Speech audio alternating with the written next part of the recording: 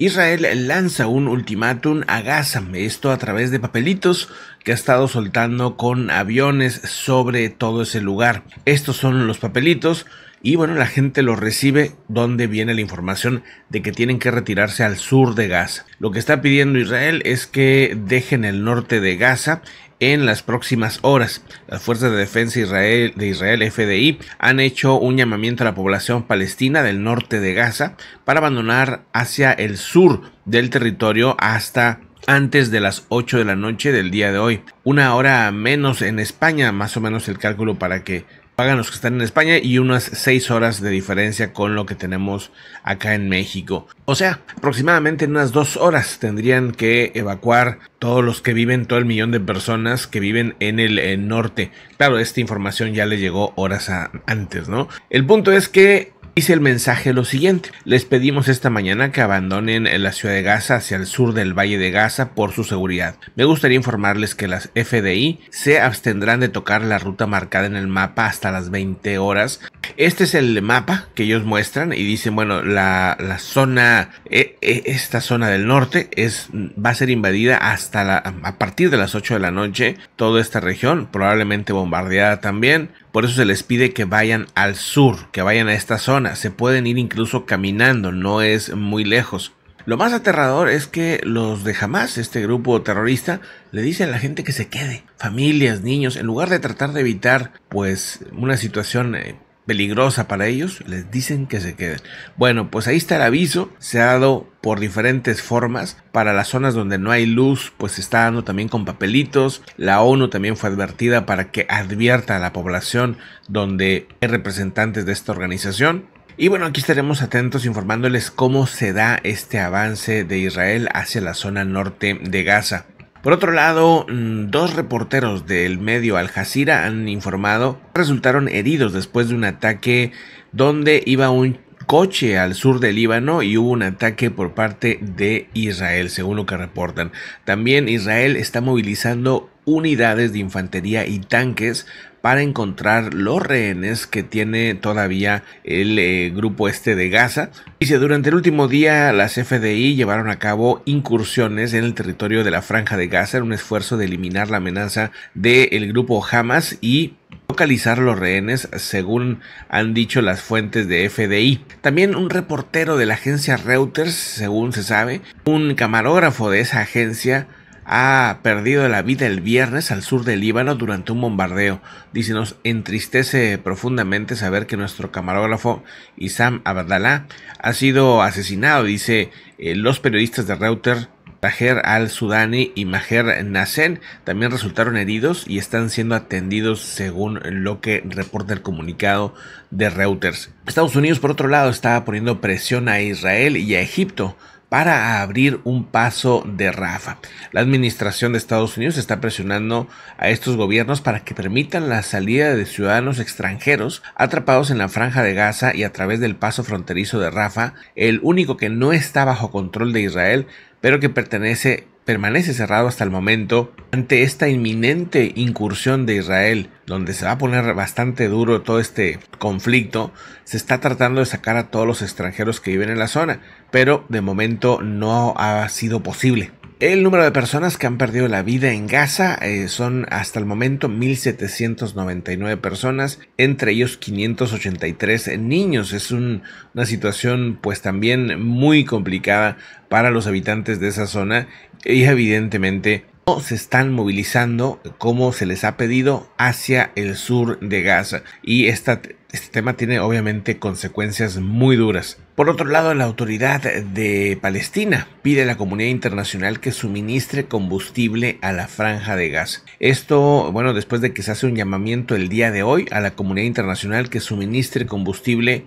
el objetivo de mantener operativas las infraestructuras vitales fundamentales sanitarias. En concreto, el Ministerio de Salud de la Autoridad Palestina ha pedido que se envíe urgentemente al menos un millón de litros de combustible para mantener la provisión de agua potable a 1.7 millones de hospital 1.7 millones de personas y los hospitales que están dicen al bordo del colapso. Por otro lado, la Organización de las Naciones Unidas ha sostenido que tanto Hamas como Israel que ambos bandos están cometiendo crímenes de guerra. Dice tanto Israel como el grupo Hamas fueron señalados de estar cometiendo crímenes de guerra. El primero al bloquear la entrada a todo tipo de suministros en Gaza, incluido y agua y alimentos, y el sustento y el segundo, o sea, jamás, por la ejecución sumaria y la captura de civiles, señala la ONU el día de hoy. Utilizar la hambruna de los civiles como un método de guerra privándonos de bienes indispensables para su supervivencia está definido como un crimen de guerra por el derecho internacional, dice el portavoz de la Oficina de Naciones Unidas para los Derechos Humanos, Rabina Shamdasani capturar rehenes y hacer ejecución sumaria a civiles por parte de Gaza y por parte de Hamas. También dice, obviamente está prohibido por el derecho internacional y también son crímenes de guerra según lo que reporta esta organización. Y cambiando de tema, vamos a otra información. Fíjense que el sindicato automotriz de Estados Unidos advierte de, fíjense esto, una huelga que está entrando a una fase agresiva. No estamos para tonteras, dice.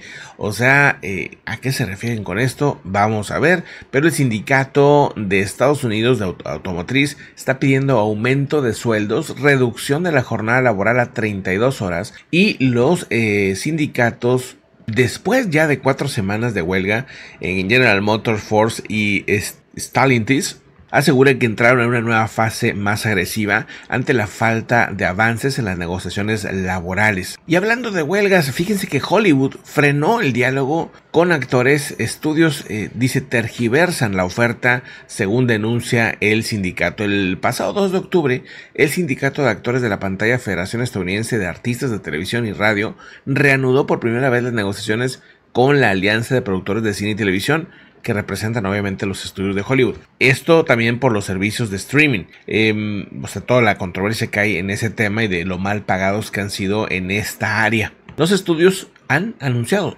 la suspensión de las negociaciones contractuales y apuntaron que las diferencias entre las dos partes eran demasiado grandes como para continuar con los dos eh, contactos a pesar de realizar una oferta similar a la que hace poco puso fin a la huelga de guionistas. El sindicato de actores denunció las tácticas intimidatorias de su contraparte y dijo que estaban tergiversando las ofertas. Bueno, la situación es que ahora los que suspenden el diálogo es Hollywood mismo, que no quiere hablar ya con los actores. Bueno, vamos a ver hasta dónde llega este tema. Mientras tanto, pues olvídense de las series, de las películas que estaban pendientes. Va a haber todavía una pausa más grande. En otro tema también importante, los precios del café podrían aumentar debido a la pérdida de insectos. Ojo con este tema porque obviamente tiene consecuencias también para otros tipos de alimentos. La pérdida de insectos polinizadores esenciales debido a todo lo que está pasando en el planeta, la contaminación excesiva, los cambios en el clima, etcétera.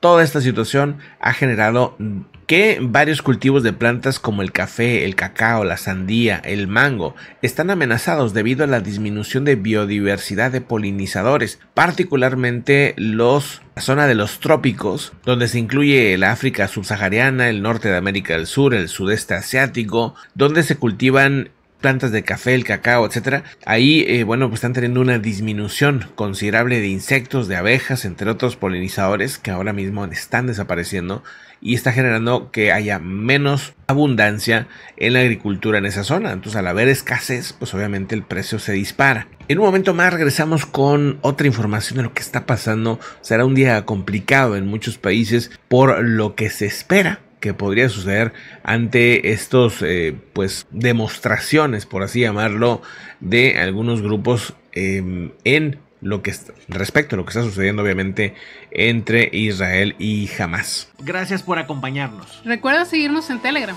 Puedes apoyar este canal informativo a través de un super chat o haciéndote miembro del canal.